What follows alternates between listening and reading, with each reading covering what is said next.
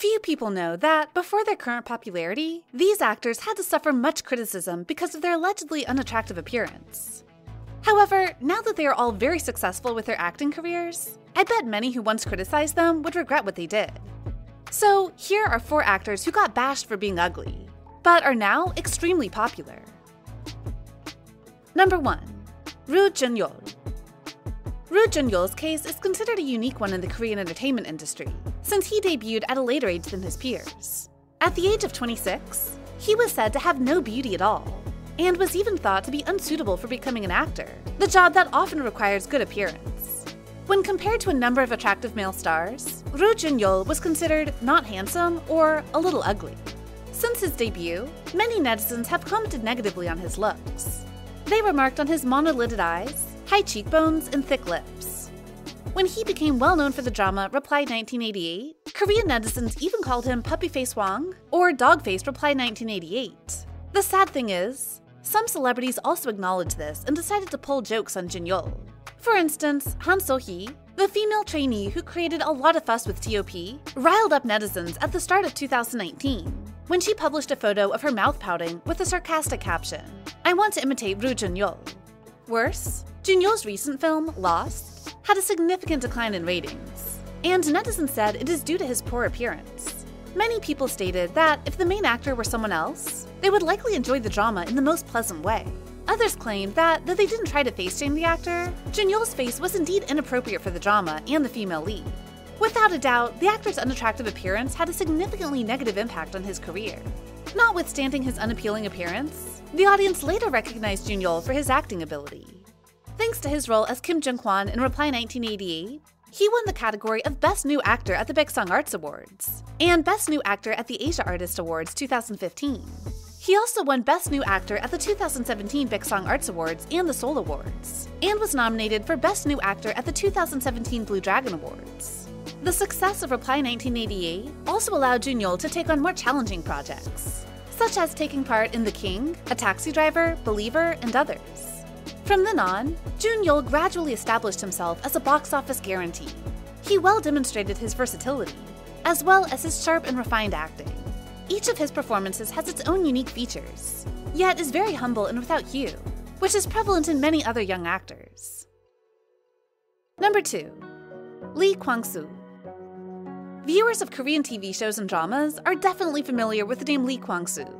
Lee Kwang-soo is a multi-talented artist who is both a talented actor and a hard-working entertainer who delivers audiences funny moments every week. Because of his international fame, he was even dubbed as Asian Prince. And every time he appeared, he was surrounded by hundreds of thousands of fans. Prior to that, Lee Kwang-soo went through a tough period. He began his career as a fashion model and made his television debut in a commercial for an IT company. However, the actor was merely an unknown picture model at the time. He struggled to find a good path in the Korean entertainment industry due to his unappealing appearance. When Kwang-soo first debuted, many people believed that his look was weird and strange. Even some members of Running Man once commented on him that, becoming ugly day by day, fashion style is getting more and more exaggerated, the nape of his neck is too long, and face becomes crooked and deformed when smiling. However, with all those unique features and a humorous vibe, Kwang-soo gradually captivates the audience's attention and recognition. After gaining notice thanks to his performance in Family is Number 1 Part 2, Kwang-soo's career peaked when he appeared in the blockbuster reality show Running Man. He made a strong impression on the audience with his hilarious attitude, natural wit, and sassy nature. Lee Kwang-soo's wealth also grew tremendously as his fame grew. He is now the most popular Korean star in China, earning a fortune through advertising and participation in TV shows. Number 3. Seo In-guk Seo In-guk is a well-known actor and singer who has been in dramas such as Reply 1997, Squad 38, Doom at Your Service, and others. His unique acting style and the ability to handle a variety of roles have created public faith in his talent. However, few know that in the past, Seo In-guk went to numerous auditions and was rejected by many recruiters due to his enormous size. During his first audition at JYP Entertainment, Seo In-guk was advised to come back next time with a healthier weight, because he weighed about 86 kilograms at the time. The actor had been driven to lose weight since then, but it was not an easy chore.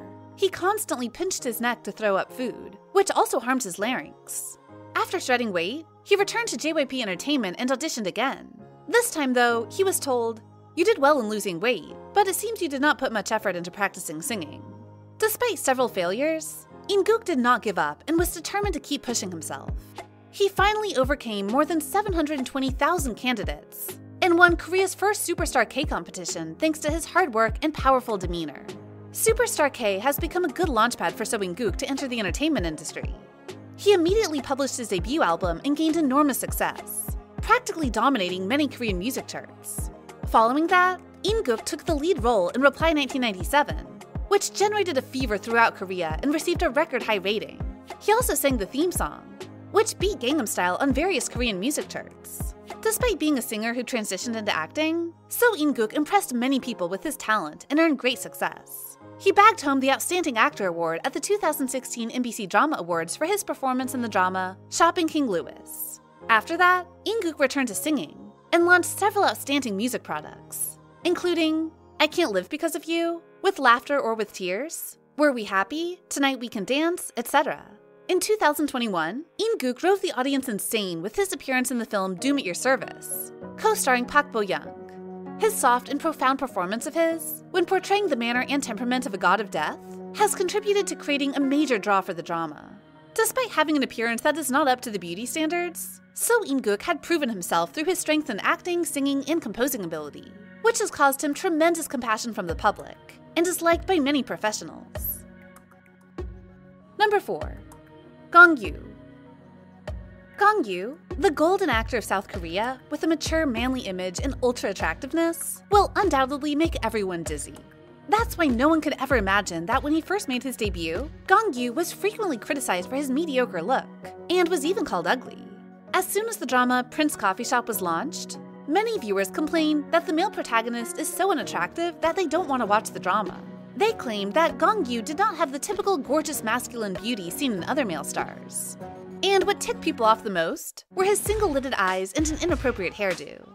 However, Gong Yoo's name still spread throughout Asia, as Prince Coffee Shop received good ratings in Korea, Japan, Malaysia, India, the Philippines, and Thailand. The film even earned him the Best Actor award at the 2007 MBC Drama Awards.